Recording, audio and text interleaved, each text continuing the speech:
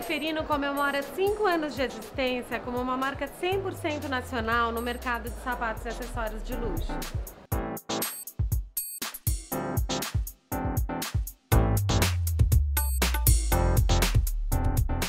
Desde sua fundação, é o estilista Cristiano Rodrigues quem comanda a área criativa da Zeferino. E ele vai nos contar um pouco sobre esse caso de sucesso made in Brasil. Oi, Cristiano. Olá, tudo bem? Bem? Tudo. Cristiano, qual que é a principal característica da Zeferino, na sua opinião? Na verdade, são várias características, né? Autoral, exclusivo e artesanal. Uhum. E artesanal, é, todo o processo é artesanal, né? Do sapato da Zeferino. Todo o processo é artesanal. E como que a consumidora comum consegue perceber isso no produto? A diferença de um produto artesanal de um produto feito em série? Eu vou te dar um exemplo, esse sapato. Uhum. Todo o é pesponto do sapato, ele é todo feito à mão. É bem nítido. É impossível você fazer esse pesponto numa máquina. Certo. A fivela também ela é forrada em couro, forrada à mão. A sola mais fina. E o, todo o shape do sapato.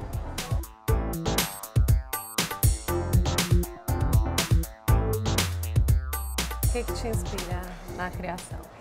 A filmes, eh, viagens, músicas. Para fazer essa coleção de verão, eu fui para a Amazônia e me inspirei na fauna e flora brasileira. Então, um exemplo é esse sapato, eu me inspirei nas, nas folhas secas da Amazônia. Então tem todo esse desenho de folhas e com essa pitada meio rock and roll, essas Mais cravos, isso, contemporânea, totalmente mais cosmopolita. É. e, e aplicado um a um, que mostra É. totalmente que é um sapato artesanal. Eu aposto muito na sapatilha, Uhum. principalmente nas cores mais alegres, mais fortes. E o mais bacana dessa, dessa sapatilha é o couro, que é um couro super confortável, macio. E o detalhe da sola, que foi inspirada no pôr do sol da Amazônia. Um degradê, Um lindo. degradê. Outro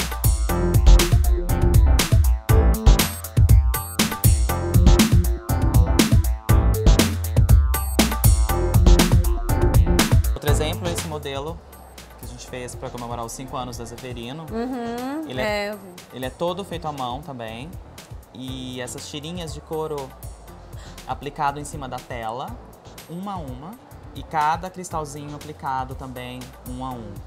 E esse é um, Nossa. um sapato totalmente exclusivo, só foram feitos 15 modelos e numerados para cada loja. Nossa. E outro incrível. exemplo também que eu amo é essa bolsa. É um trabalho de tela também, Uhum. todo rebordado em cima de flores de cetim.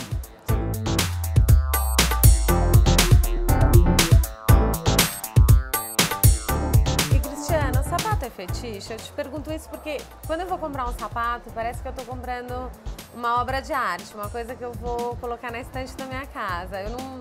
É uma compra completamente irracional, assim. O que, que você. Eu acho totalmente fetiche, desejo, né? Você quer aquilo. Então te dá um sentimento maravilhoso. E, e até pra fazer um sapato, tem toda essa parte do desejo, do amor. Então acho fetiche total, assim. O que, que você tem aqui? aqui? Eu tenho esse, que é, a gente falando em fetiche, Aham, é totalmente uma lingerie, né? aham. Esse para trabalho de tela, dessa transparência e essa aplicação de cristais. Quer dizer, não precisa de mais nada, Não, né? só um sapato, Esse sapato é o que assim, veste é. a pessoa, o resto tanto faz. Tanto faz, já fica linda e perfeita. Muito legal.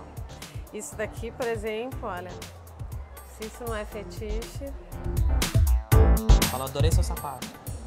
Ai, foi um estilista super talentoso que fez.